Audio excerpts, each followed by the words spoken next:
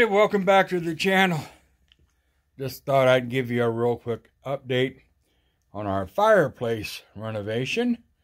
I um, kind of been living in the moment a little bit, so to speak. So let me just, I'm just going to show you what I've done, kind of give you an idea of what we're going to do next. So let's walk on over here. The firebox is all removed. This is the firebox. These, these little brackets right here, they were sitting in there like that.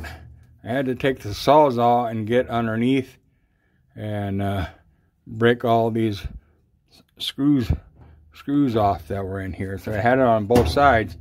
And once I was able to get this one, or the front two off, I could slide this this away. And then over here on this side, I was able to slide it that away. And what I did on the firebox was I cut all the way back here. And then I did the same thing on this side. And then I took a pry bar and just pried this out that way and pried it out that way.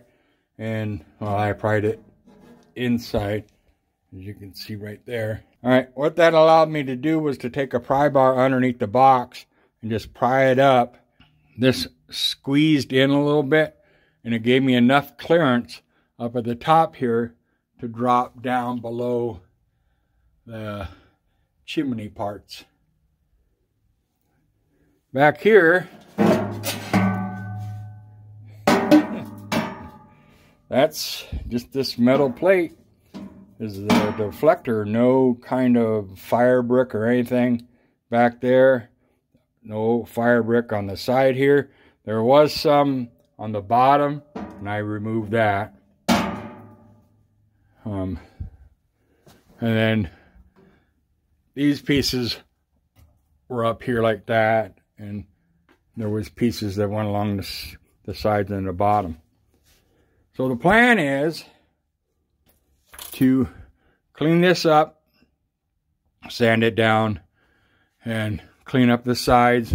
We'll repaint that, and then on the sides here, on the sides here, the bar, uh, this side, and then I'm going to redo the platform here that will come up to this uh, edge here, and that'll be le level. Fireplace can just slide in in there, and this will all be covered up.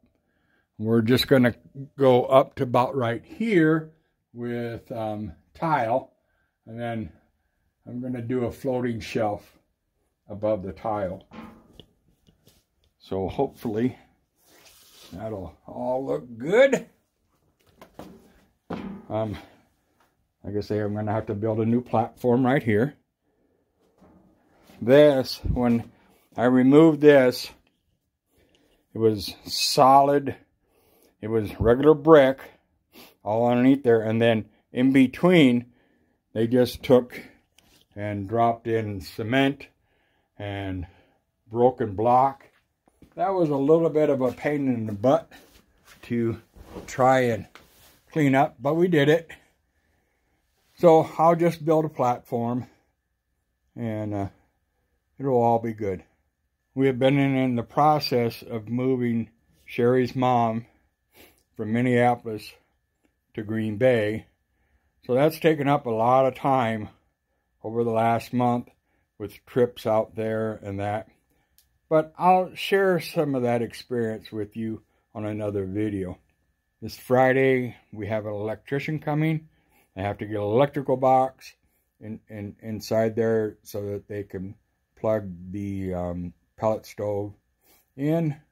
I'm, I'm hoping that by the middle of April that everything should be done, but we'll just have to see. I, I hope your day is going well. Thanks for watching, and we'll see you later on the next one.